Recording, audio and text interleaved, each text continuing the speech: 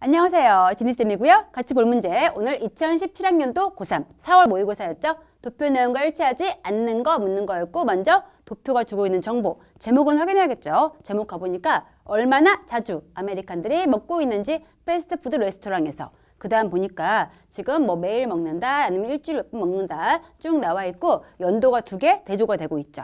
그럼 선지 내려가서 대조하면서 확인할게요.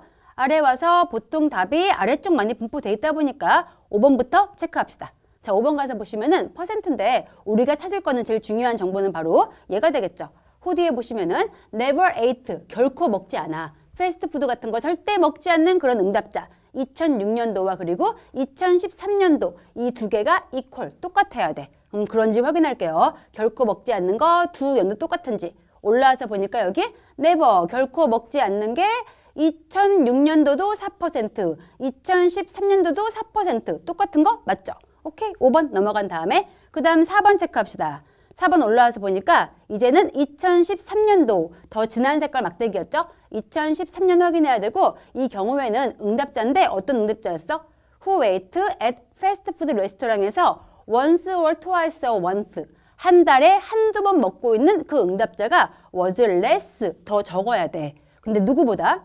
댄디에 보니까 twice that of respondents 그 응답자들의 두 배보다 적어야 돼. 좀 복잡하죠? 근데 어떤 응답자인지 또 후디에 보니까 이렇게 얘기했죠? 뭐 한다고 했어?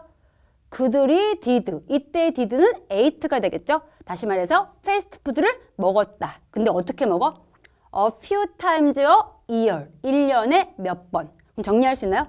1년에 몇 번 먹는다고 얘기한 사람의 두 배보다 적은 수가 한 달에 한두 번 먹는 사람이어야 돼. 언제? 2013년도에. 올라가서 확인할게요. 자, 2013년도 더 굵은, 색, 아, 더 진한 색깔의 막대기였고, 이 진한 색깔 막대기에서 한 달에 한두 번 먹는다. 33이고요. 그 다음 또 여기 진한 색깔인데 1년에 몇 번 먹는다. 15죠. 근데 이 15의 두 배보다 적어야 한다고 했죠. 근데 보니까 15 곱하기 2는 30이죠. 그것보다 많네. 그럼 4번은 틀린 말이죠. 더 많기 때문에 얘 때문에 안 되겠죠. 레스가 아니고 뭐가 되겠죠? 두 배 이상이었어. 4번 틀렸구나. 시험장에선 바로 고르고 넘어가면 되고요. 지금은 3, 2, 1까지 가보긴 할게. 이제 3번 가서 확인할 정보.